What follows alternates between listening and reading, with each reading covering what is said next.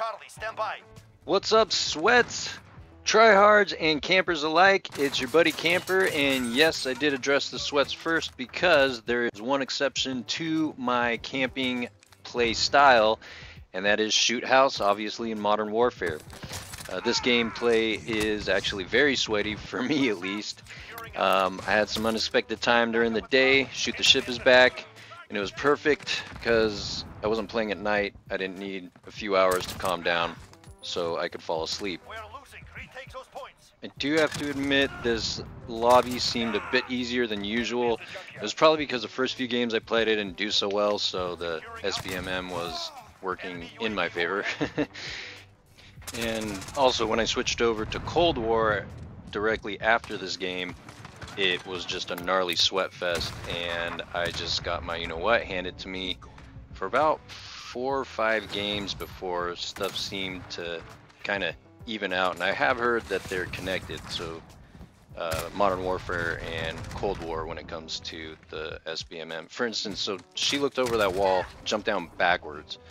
I've never really seen anyone do that before. I feel like I should have gotten killed but instead I got a kill and I'm not complaining Do you guys love Shoot House, or better yet, what are your favorite maps? It could be Modern Warfare, Cold War, uh, just COD in general, actually. Let me know in the comments below. And as always, if you're new to the channel, hit the subscribe button, turn on notifications so you won't miss any content. I do have to thank our 15 new subscribers, putting us at 25 subscribers. We truly appreciate all of you. And I know 25 may not sound like a lot, but I do enjoy the small victories, which also applies to the fun of life itself. And of course, again, our channel is all about having fun. And now to the gameplay. As y'all might have noticed, um, I am fairly sweaty on the way to the office. Once I am in the office, it's all about getting those proximity mines on either side of the doors so I can do my best at camping from the office. Um, since it's such a small map, I do end up having to get into a lot of firefights outside of the office, but the whole idea with the proximity mine on either side, uh, they might get killed before they even get in here. If the door opens on the right, I'll hear it, and luckily you can fire through the door and the desk to the right, which uh, helps get kills. There we go with my trophy system that I believe exploded before it hit the ground. I love that thing. I throw it there every time and I actually get kills with it as well. Since this is hardcore mode, if the trophy system causes a projectile or grenade or something to explode and an enemy combatant is by it, it will actually kill them. Unfortunately, uh, I do have to say that that does happen to teammates as well, and I am sorry for that. If you've seen some of my other videos, they are apologies for friendly fire, and I will continue to do those as I feel very bad when I kill a teammate, uh, almost as bad as when I get killed by a teammate. I do have to say that playing Modern Warfare again made me miss having proximity mines and claymores as your lethals because they just contributed to so many kills for me in Modern Warfare. Um, I do have restock on. I also have shrapnel on, so I have two of my lethals, and I'm also running EOD, so I do not die from explosives.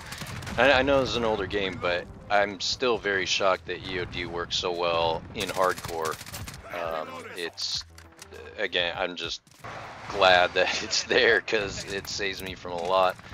Also, going back to the claymores and proximity mines, like that one I had time to drop because that guy was running away from me.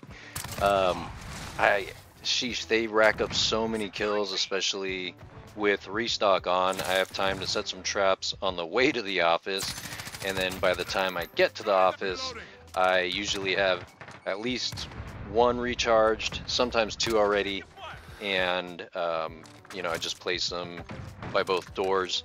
Obviously to get kills, but also they're a bit of an alarm system, as I'm sure you guys realize. You might notice too, I periodically will just quickly pull up a proximity mine and then it goes away. That's just my way of seeing if I have any since it's hardcore and I don't have the icon in the bottom right corner letting me know.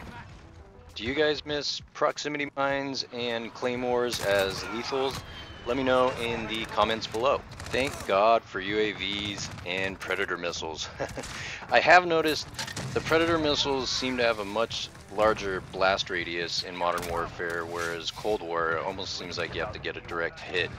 I do miss just dropping a Predator missile, I think just like this one, fairly close to some enemy combatants and getting double kills like that. Um, I didn't even see that there was a second guy, unless, now it was both Predator missiles, I was thinking maybe it was a, a proximity mine. I always want to say bouncing Bettys. I've been playing COD for a little while now, and I forget, I think it was Black Ops 2 that that's what they called them, which is still my favorite COD to this day, and I'm not sure why I do not own it. I think I might actually buy it so I can throw some gameplay up on the channel. Let me know what kind of gameplay you guys like to see.